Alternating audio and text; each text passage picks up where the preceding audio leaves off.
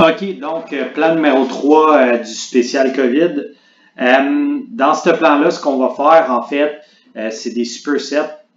OK? Sauf que là, petite particularité, contrairement au plan numéro 1, ça va être des supersets qu'on va dire pré-fatigue. OK? Fait qu'on va fatiguer le muscle avant d'utiliser un, un, un, mouvement multijoint plus complexe pour aller faire de la post-fatigue. Et puis la technique spéciale qu'on va utiliser, en fait, il y en a deux. La première, ça va être des isométries fonctionnelles. Fait qu'on va regarder ça ensemble dans pas longtemps. Et la deuxième, ça va être d'utiliser des straps euh, de BFR, fait de Blood Flow Restriction. OK? Fait qu'on va commencer avec la première, l'isométrie fonctionnelle. Elle va être utilisée euh, pour tout ce qui est chest, puis qu'est-ce qui est dos. OK? Donc, euh, je vais vous montrer ça. Donc, euh, l'isométrie fonctionnelle, excuse-moi, pour le chest, ce qu'on va faire, c'est qu'on va venir sur une surface qui est euh, stable, OK? Fait qu'on va mettre nos deux mains ensemble ou on pourrait euh, pincher un, mur, tu sais, comme aller autour d'un cadre de porte, puis là, contracter contre le mur. Fait qu'un des deux. Fait qu'en fait, avant que j'aille plus loin, l'isométrie fonctionnelle, c'est quoi? C'est que tu vas créer, tu vas créer une isométrie fait que je vais contracter, mettons, mes pecs pendant une minute de même, 30 secondes à une minute, le plus fort que je peux ensemble. Pour, euh, en fait, ce que ça démontre, cette technique-là, c'est que quand tu fais ça avant de faire un mouvement, mettons, de, de chest ou de press, ben, ça va augmenter euh, le recrutement des unités motrices beaucoup plus. Fait que c'est super intéressant lorsqu'on n'a pas beaucoup de poids à la maison, par exemple pour aller euh, stimuler encore des gains en force, euh, aller stimuler l'hypertrophie, ça peut être super intéressant de faire ça. C'est pour ça qu'on l'a fait en ce moment. Fait que pour le chest, ce qu'on fait concrètement, on va mettre nos mains ensemble contre un mur. On va contracter ensemble le plus fort que je peux. Je pousse ensemble fort, fort, fort, fort pendant 30 secondes. Vraiment à l'échec, là. Je pousse ensemble. Je peux le faire un peu plus proche comme ça aussi je pousse ensemble fort, fort, fort, fort, je contracte mon pec, mes épaules, mes bras le plus fort que je peux. Vraiment, là, je veux le faire à une force telle qu'à 30 secondes, je suis incapable de continuer, OK? Fait que ça va être ça pour le, chest. Puis pour le dos, eh, tu vas te mettre contre un mur, par exemple. Je sais pas si on voit bien, là, mais mettons que ma chaise, c'est le mur. Je vais aller pousser mes coudes dans le mur. Puis là, je vais contracter mes omoplates ensemble. Je vais contracter mes lats. Puis là, je pousse même chose le plus fort que je peux. Je contracte mon dos ensemble j'utilise le plus de muscles possible.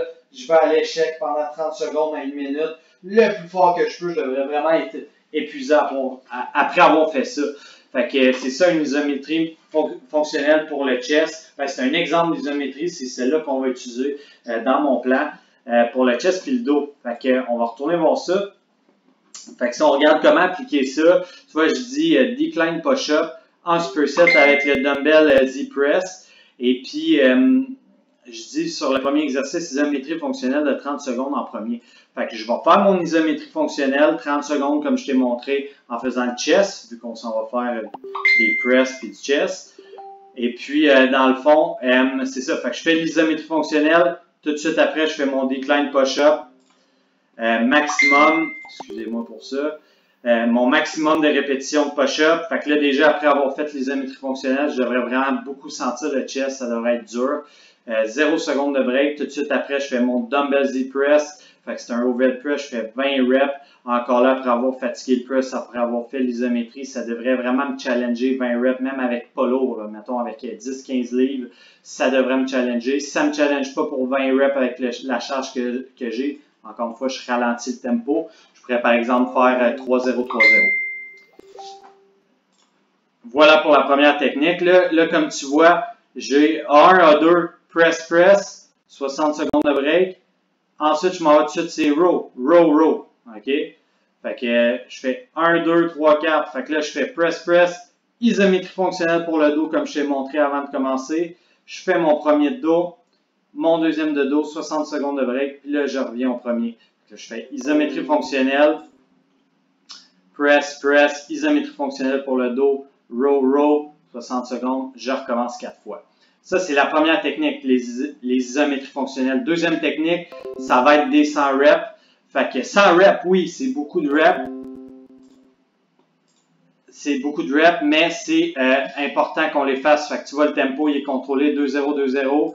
en rest pause s'il le faut, c'est-à-dire que si par exemple tu as des 10 livres, tu fais ton, ton mouvement ici, dumbbell pinch, press, puis que là, tu ne te rends pas à 100 avec un tempo 2-0, tu te rends, mettons, à 60. À 60, tu prends 10 secondes, tu repars.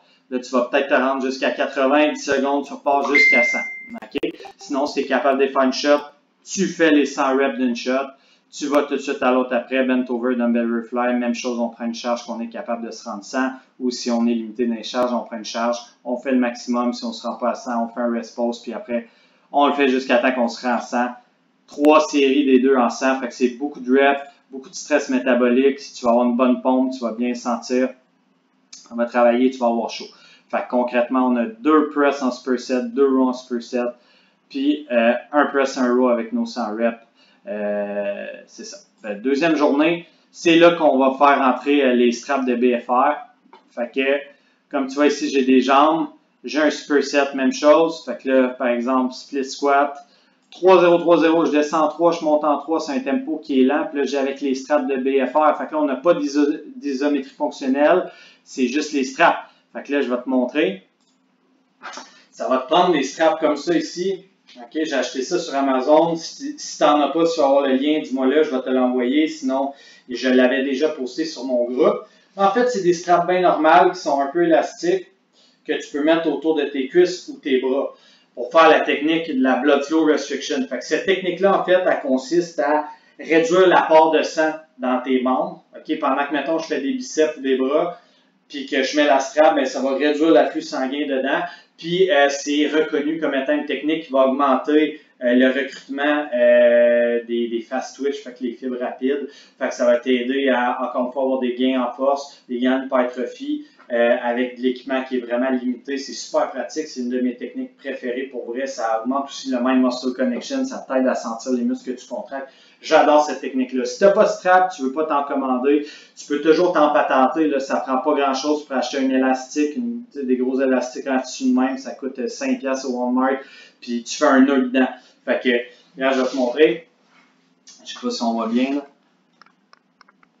Mais euh, pour les jambes, c'est ça que tu vas faire. Fait que là, j'en ai deux. Je vais t'en montrer avec une. Je monte la strap le plus haut que je peux. Je vais la serrer faut que tu sers à, une force que tu es capable de passer ton doigt en dessous, mais tu devrais déjà sentir que ça coupe un peu l'arrivée de sang dedans. Là. Fait que le but, c'est d'avoir ça tout le long, tu mets ces deux jambes, puis là, je vais faire mes jambes avec ça. OK? Fait qu'en limitant la passe sanguine, comme j'ai dit, euh, tu vas aller augmenter le recrutement des, fast twitch, des, des, fibres rapides dans ton muscle. Puis c'est ça qu'on veut pour la technique, OK? Fait que euh, sais, si tu sens plus tes, jambes après 30 secondes que tu as mis, c'est trop serré. Il faut que tu sois capable de, faire le workout quand même, mais ça devrait, ça devrait être inconfortable. Si tu sens aucun inconfort tout le long du training en faisant ça, c'est sûrement que tu les as pas mis assez serrés, ok? Tu pourrais te patenter ça aussi avec un vieux, t-shirt que tu découpes, que tu déchires, tu fais juste un nœud autour de ta ta jambe, un peu comme un garrot, mais là, fais attention, fais-toi pas un garrot, là. Tu va pas te, va pas te blesser là-dedans. Fait que euh, si tu as des doutes, écris-moi de toute façon, on va être en lien ensemble. Fait que c'est ça. Pour les bras, c'est le même principe. Tu vas voir la dernière journée, si tu as des bras, si tu as des objectifs de hypertrophie, je vais sûrement t'avoir mis une troisième journée de bras. Ça va être la même chose, ça va être une technique de BFR, même chose. Regarde, je vais mettre la strap haut, juste en bas de mon épaule, pas trop bas, il faut que ça soit entre le biceps puis l'épaule ici dans le joint. Je viens serrer ça. Puis là, je vais faire mes bras avec ça tout le long. Je suis vraiment désolé pour toutes les euh, notifications que j'ai en même temps. Là. Ça donne que tout le monde m'écrit là. Fait que, euh, bref, si on va voir ça concrètement, là, comme je disais, les jambes, deux supersets, même chose. Quad, quad, puis hamstring, hamstring avec les straps de BFR tout le temps. Et les deux derniers, euh, deux, deux de jambes, encore des 100 reps. Fait qu'il y a des Earth Squat 100 reps puis euh, Reverse Super Extensions, euh, j'ai marqué maximum parce que tu te rendras sans doute pas à 100. Fait au moins une cinquantaine. Euh, avec les straps toujours de BFR sur les deux. Fait qu'on garde vraiment les straps au niveau des jambes. Tout le workout, c'est important. Tu vas avoir un bon effet d'entraînement, que tu t'attendes quelque chose pour qui va imiter les straps. Là. Fait que voilà, pour les, pour les bras, si tu en as, c'est la même chose, tu voir, avec les straps tout le long. Puis sinon, euh, si tu as des objectifs différents, ça se peut que tu aies du cardio, des abdos. Dans ce cas-là, euh, tu n'auras pas, euh, pas, besoin des straps pour cette journée-là. Alors voilà pour le plan numéro 3 spécial COVID.